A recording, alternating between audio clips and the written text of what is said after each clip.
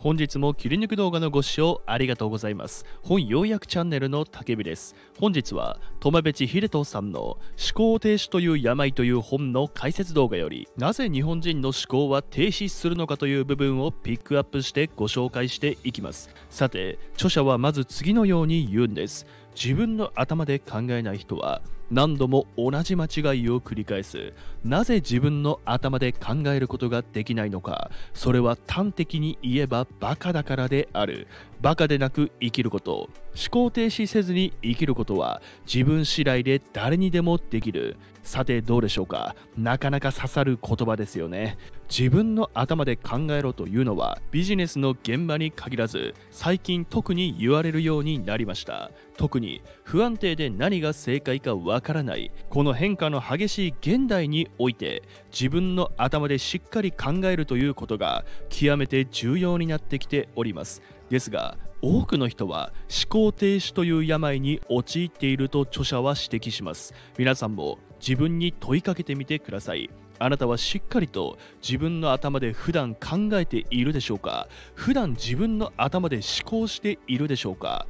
このように言われちゃうとね普段自分がいかに頭を使っていなかったか思考していなかったということに気づき愕然とする人も多いかもしれません。でもそれはあなただけではなくて非常に多くの人が思考停止という病に陥ってしまっているんです。ではなぜ思考することができない人が多いのか。今回の動画では日本人が思考停止している理由として次の3つを挙げています。日本人が思考停止している理由1学校教育と会社の洗脳。2知識不足。3ゴールがない。さていかがでしょうか？ちょっとこれだけ言われてもピンとこない人が多いと思うのでぜひこの動画の続きをご覧いただければ嬉しいです。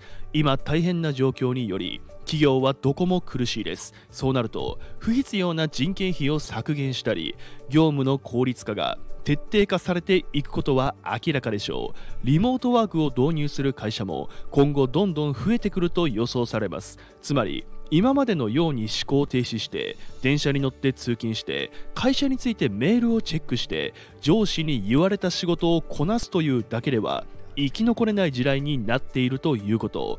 何も考えずに会社にさえ行っていれば給料が自動的にもらえたあの幸運だった時代に私たちはもはや戻ることはできません。また今は価値観が多様化し自分自身で大切な価値観を選択することが必要な時代です。自分で自分が何を大切にしているのかが分からなければ満足する人生を歩むことなど決してできないでしょう。つまり仕事で結果を出すという意味でも自分の人生を豊かに満足に生きるという意味でも自分の頭で考える訓練が必要になっているんです。では早速なぜ私たちが思考停止という病にかかってしまっているのかということを一緒に解き明かしていこうではありませんか。それでは切り抜き動画スタートです。さてまず思考するということの定義をしましょう。思考とは2つのレベルで見ることができます。1つは物理的な脳の活動。もう一つは創造的な問題解決活動です。前者の物理的な脳の活動を思考というのであれば全ての人は思考停止していません。あなたがどれだけ思考をやめようと思っても脳は働き続けているんです。それは勉強している時はもちろん寝ている時もぼーっとしている時も同じです。アイドリング状態の時でも脳はカロリーを消費してます。何も思考していない時でも脳は情報処理をし続けています。つまり物理次元で思考停止している人はいません。では後者の思考創造的な問題解決活動を見ていきましょう。筆者が本書で指摘している思考停止はこの創造的な問題解決活動についてのことなんです。創造的問題解決というのはクリエイティブな思考です。思考と一言で言っても脳内で起こっていることは次のように分類できます。分析する意思決定する問題を解決する仮説を作る。筆者が日本人の思考停止を危惧しているのはほとんどの人がこれらを放棄して生きているからであります。さてここまででね思考には物理的な脳の活動。もう一つはクリエイティブな思考の2パターンがあり思考停止とはこのクリエイティブな思考が停止している状態であるということを解説してきました。では次になぜ日本人はこのクリエイティブな思考が停止しているのかをしっかりと理解しましょう。理由は次の3つです。日本人が思考停止している理由1学校教育と会社の洗脳。2知識不足。3ゴールがない。それぞれサクッと解説していきましょうか。まずは1つ目。学校教育と会社の洗脳から解説しましょう。まず筆者は学校の暗記教育のせいで私たちは思考が停止しているんだと言います。私たちが考えることを一番やったのはいつでしょうか。ほとんどの人が学生時代を思い浮かべるかもしれません。学校や塾で勉強し家に帰っても勉強。高校入試や大学入試のためほとんどの時間を勉強に費やしていることになります。しかしここでも本当に思考していたかというと甚だ疑問なんです。なぜならば日本の学校における教育システム自体が考えることを前提に作られていないからです。日本の学校教育は小学校から高校まで知識の習得だけを目的にしています。個々人の成績は正しく覚えられたかをテストされ学力として判断されます。そこで効率よい勉強方法として定着したのが暗記です。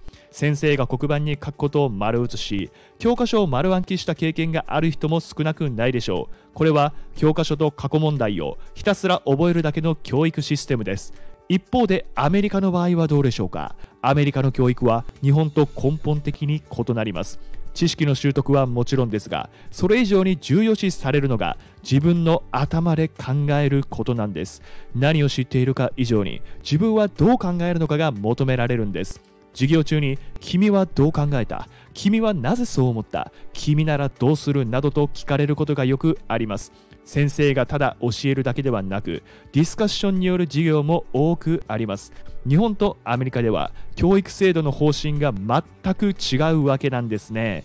日本は暗記重視。アメリカは自分の頭で考えることを重視した教育です。もちろん暗記自体が悪いのではありません知識を得ることは重要ですしまずは知らないことを覚えることから全てが始まりますしかしそれだけで終わっていてはダメなんですそこから自分で考えることができている人だけが本当の意味で勉強していたと言えるんですいやーね、なかなか耳が痛いな。思い当たる節がありまくりでございます。実際に受験をしてきた人ならわかると思うんですが、受験は結局知っているか知らないかで決まること多かったですよね。つまりただの暗記競争。自分の頭で考えることは必要とされていませんでした。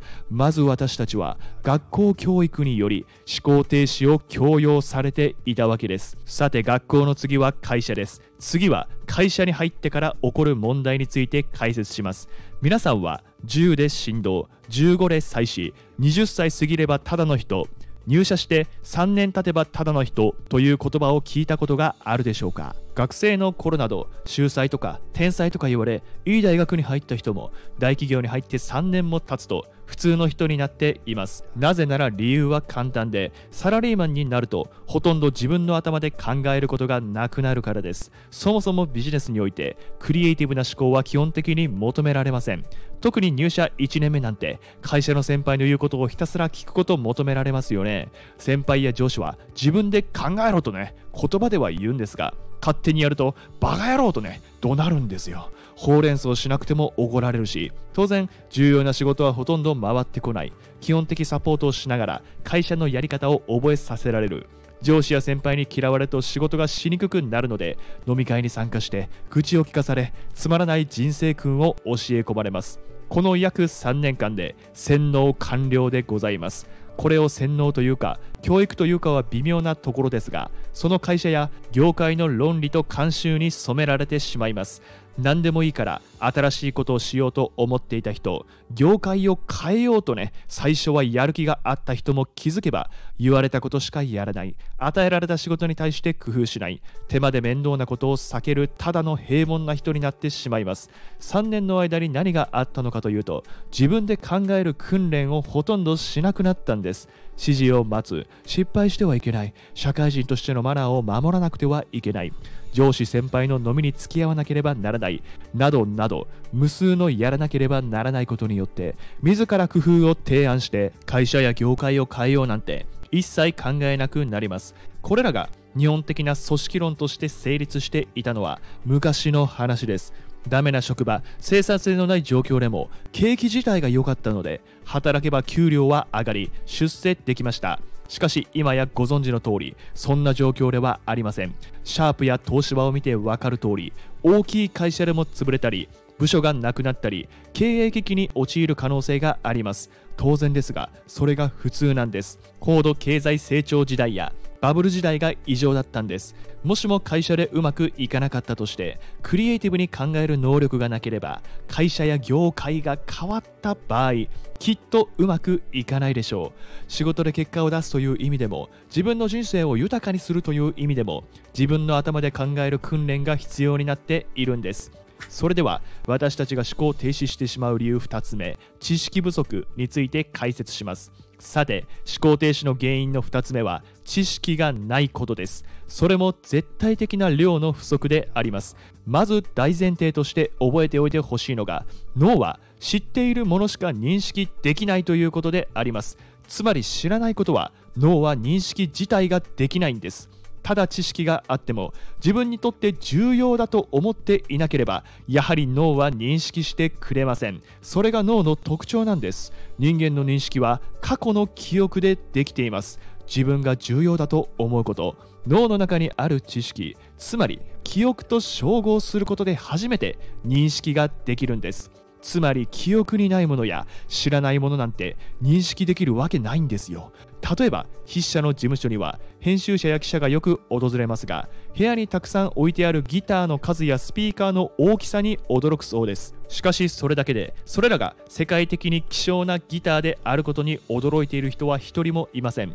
ギターマニアやスピーカーに詳しい人がいたらもっと大騒ぎしているはずです。これは知識がないから認識できないんです。スピーカーもギターも知らない原始人が見たら何があるかぐらいはわかるんですがほとんど目に留まりません。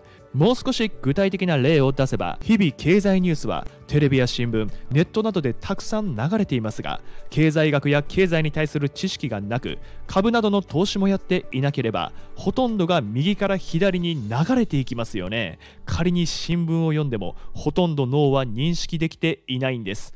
いや確かにねこれは非常に納得できる話です。知識がないから私たちは思考停止している。集団的自衛権とか TPP の問題についてほとんどの人が正しい知識や認識を持っていませんよね。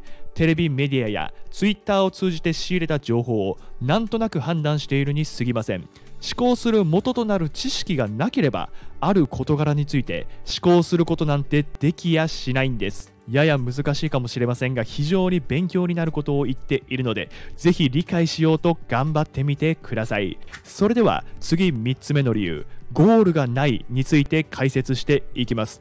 知識と並んで重要なものがこのゴールなんですよ。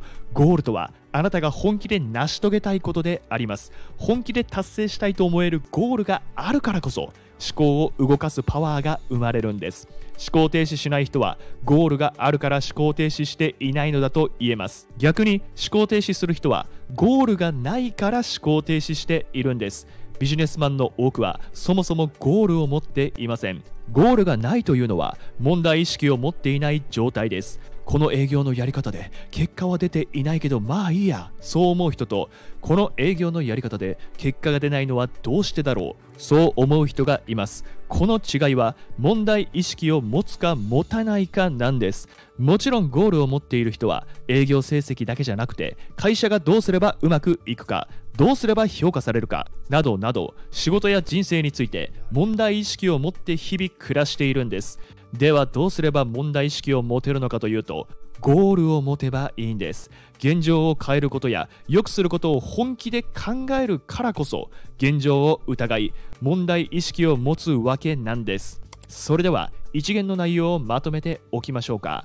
ポイント1思考には物理的な脳の活動とクリエイティブな思考の2パターンがあり思考停止とはクリエイティブな思考が止まっていることを指す。ポイント2日本人が思考停止している理由は3つ。1学校教育と会社の洗脳。2知識不足。3ゴールがない。